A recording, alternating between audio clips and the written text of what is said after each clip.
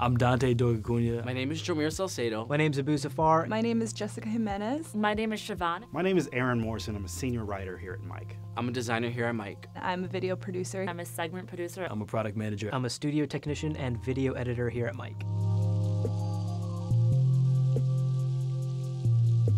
One thing that drew me to Mic was the, definitely the different, the storytelling aspect of everything. How there was different voices. We have food, we have travel, we have you know injustice, we have um, politics. So there's a lot of different realms. I've been at Mic for two years. They said they were looking for someone who could cover the movement for Black Lives. Coming to Mic it's a great move. I feel really happy about it. It became really important to me to work on tech projects that I felt had a had a good social impact. We decided to take uh, the pivot to video to heart and started doing more quality videos. Quality meaning highlighting our journalism that the written side was doing. So we eventually pivoted to this correspondent led, correspondent focused type of video. There's a lot of new techniques that the old guard of journalism has a lot of catching up to do. I think what surprised me about Mic that didn't seem so obvious at first that things are constantly changing. And Mic has a done its best and attempted to sort of stay ahead of the curve. At Mic, I'm the producer for the senior style writer Evan Katz, and we really cover LGBTQ issues. And a memorable shoot we recently did was with the entire cast of RuPaul's Drag Race.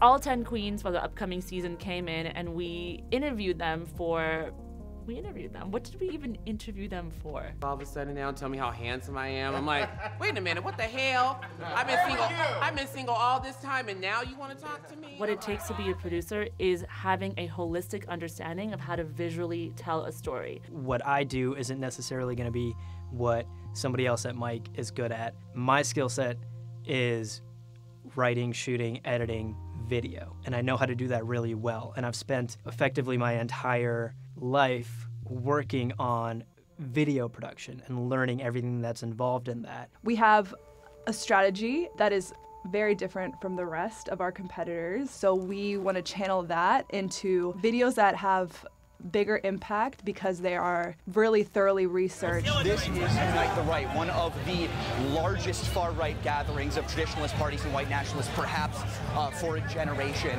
And uh, they're here to protect that statue in the past, we've been really good at getting kind of quick hit, huge viral pieces. People take to them and they want to share them and talk about them, but there's not, eh, there wasn't as much of a drawn out narrative, eh, you know, investigative reporting. So I think we were doing a much better job at that. And we're starting to think about that in terms of like time spent and time well spent instead of just like how many people viewed it. It's, it's much more about how many people were deeply engaged how many people learned something from it? You know, people don't necessarily want to see journalists always just parachuting in when a, an emergency is happening. They want to see you in moments where things are quiet. You, you're trying to change your perspective on analytics and metrics to reflect what we want the actual outcome of our journalism to be. The value now is not completely tied up in how many views we have. It's the depth of the views. It's like the depth of the impact, really. There's some schools that would send you home for wearing the t-shirts that you're wearing right now. For the Vermont story, we were coming off of the Super Bowl, and we were thinking about, okay, it's,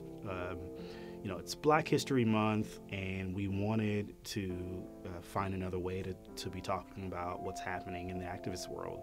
And what we saw was that not only did the school in Vermont become the first to raise the Black Lives Matter flag, there was a Black Lives Matter in Schools Action Week taking place across the country. We are raising the Black Lives Matter flag on this school campus because we want to be represented.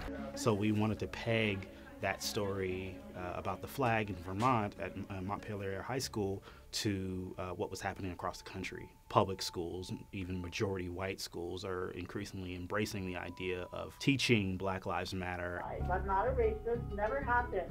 Some of my best friends are black. Calling y'all the way from North Carolina. You should be ashamed of yourself, buddy. Your school should be ashamed of yourself. Just when you're sitting there and you're listening to people share their real, raw, sometimes nonsensical um, arguments against something or for something, it's funny sometimes. It actually makes you. Uh, it's that that makes it enjoyable because you're almost like opening a present or opening like some sort of Easter egg that you don't know what's inside, but once you find out what's inside, then you're able to sort of craft uh, a way to tell this story. A lot of the journalists that are here, a lot of the writers, the editors, they're really honed into what they're doing. This is their passion. It's I think we started to like come into a great flow where every everyone's ideas are are coming to the table. Hone in on the passion that got you into journalism to begin with. I think to me, the most important part of my career is actually outside of my job.